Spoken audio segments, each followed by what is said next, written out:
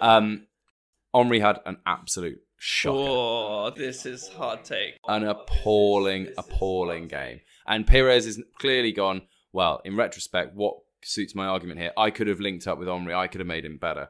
Having said that, Henry did have uh, the reason that Henry had such a terrible game. Not to finish my hot take; it's very spicy. Just stand back.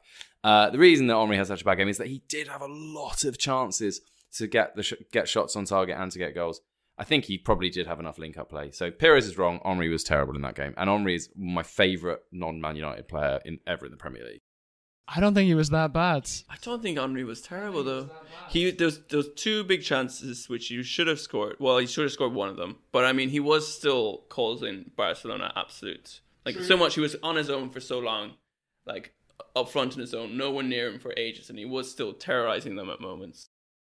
At moments, but the the one time that he terrorized them the most was in the second half. Arsenal one 0 up. He nutmegs per, uh, Puyol, and then he goes past someone else, and then just a very very tame shot. And the thing is, is that he was so tired the, for the second half of that game that he was completely ineffectual. And when he did get the chance, and I'll give you that he got lots of lots lots of time on the ball, and he did get himself into the positions.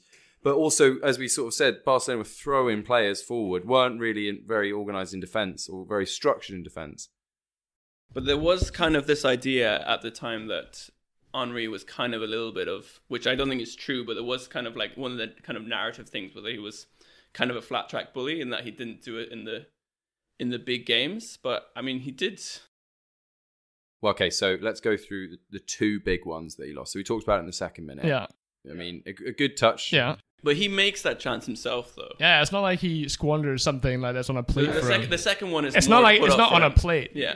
You can you can do an you can make your chance to get an open goal and then miss the Yes. open goal and then that's still But a I- bad miss. And, I would say for the second one, I think you sometimes see those ones go in because sometimes players go for those like shots right by the Yeah, because it's hardest to get. because if the keeper doesn't get down in time, then it just Yeah. slots between their like elbow and their Yeah. hip, right?